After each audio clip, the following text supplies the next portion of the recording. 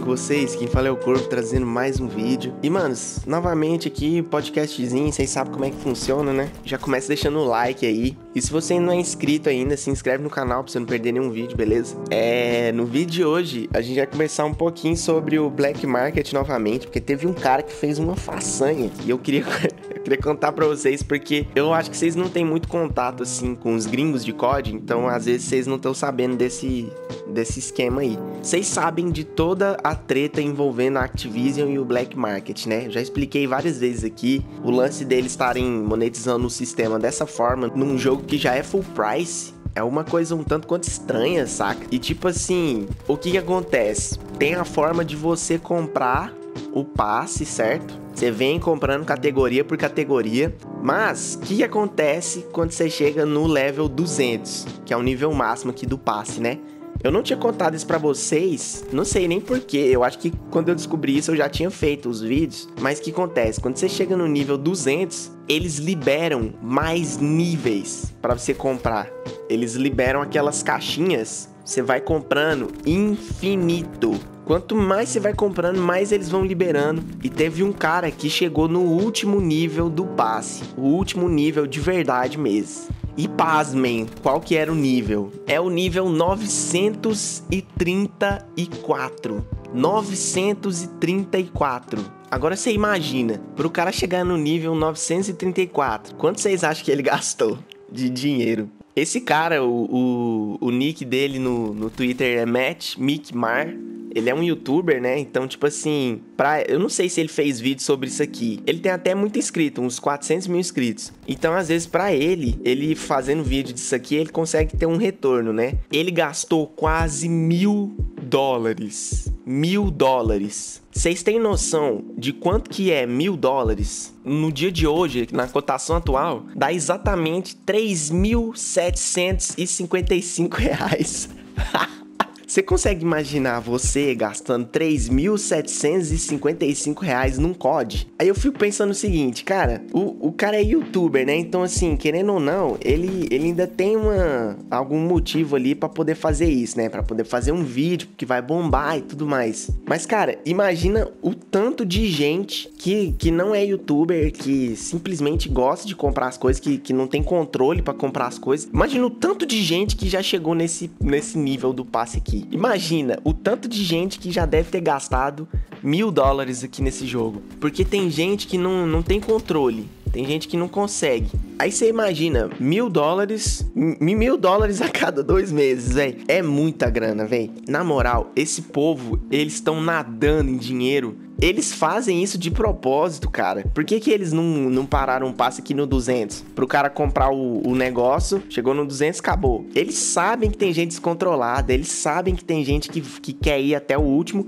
E aí eles botaram 900 níveis no bagulho, velho. Meu Deus do céu, cara. Até que ponto nós vamos chegar com essa história aqui, cara? Sinceramente, eu tô com medo. Óbvio que eles não, não vão colocar esses essas outras partes, assim, até o nível 900, com coisa pra gente pegar. Mas, cara, isso mostra a índole da empresa, isso mostra a intenção da empresa. O interesse deles é ganhar dinheiro, não, não tem outro interesse aqui. É muita grana envolvida. Eu imagino que eles estão ganhando mais dinheiro com esse sistema aqui do que com o supply drop, sinceramente. Para mim esse sistema ele é pior do que supply drop, da forma que ele tá atualmente. E o meu medo é eles não mexerem nesse sistema. E eu tô começando a achar que eles não vão mexer mais. Se eles forem mexer vai ser pouco, sabe por quê? Esse fim de semana vai ter double tier XP. Você vai upar no passe duas vezes mais rápido. Ou seja, não dá a impressão de que eles vão mexer no sistema, de que eles vão tirar esse sistema de tempo, que eles vão melhorar o tempo que você precisa para upar. Porque, cara, eu acho que, sei lá, uma vez no mês eles vão dar um double XP desse aí e fica por isso mesmo. Se você não puder jogar naquele fim de semana, você dançou. Então, assim, eu tô com medo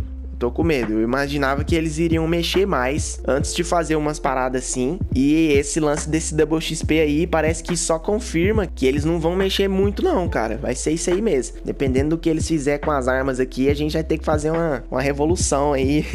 Porque realmente, só cosmético eu tô cagando, velho. Essas camuflagens aí que, que brilha aí, caguei, mano. Skin do Blackout, caguei também. Agora, se meter arma nova, mano, aí o bicho pega. Aí nós vamos fazer um, um Blackout aí no, no, jogo. Ah, detalhe, nem falei o que, que acontece, né? Cara, chega a ser hilário, velho. O cara gastou mil dólares. o cara gastou mil dólares no jogo. Aí ele recebeu uma mensagem, saca? Aí eu vou ler essa mensagem aqui pra vocês. A mensagem falava, a mensagem falava o seguinte: Reservas completas. Parabéns, você concluiu as, as reservas do Blackjack. Agora você tem todo item que estava disponível nas reservas, saca? Todos os itens ele tem. Novos itens vão chegar na nova operação. Ou seja, espera a próxima operação pra você gastar mais mil dólares. Aí agora, agora é a parte boa. Enquanto isso, tenha certeza de dar uma olhada de vez em quando aqui no Black Market para novas ordens especiais. Aquelas ordens que aparecem assim, aquelas. Vocês lembram, né? Né, que eu já falei, que você paga 800 God Points para ter o privilégio de jogar 10 horas para liberar os trem que você já pagou. Aí, aí eles falam, volte sempre, porque essas ordens elas renovam de dois em dois dias, né? Então é basicamente tipo assim, parabéns, você gastou mil dólares, volta aí pra você gastar mais dinheiro daqui dois, três dias. Mano, meu Deus, cara. A que ponto chegamos, cara? Não que eu fosse fazer isso algum dia na minha vida, né? Mas se fosse eu que tivesse gastado mil dólares Pra receber uma mensagem dessa, eu me dava um tiro, velho. Sério mesmo. Não, não tem condição um negócio desse aqui. Não tem a menor condição, cara. Fora que esse, esse sistema novo que eles colocaram aí, né? Dessas ordens especiais.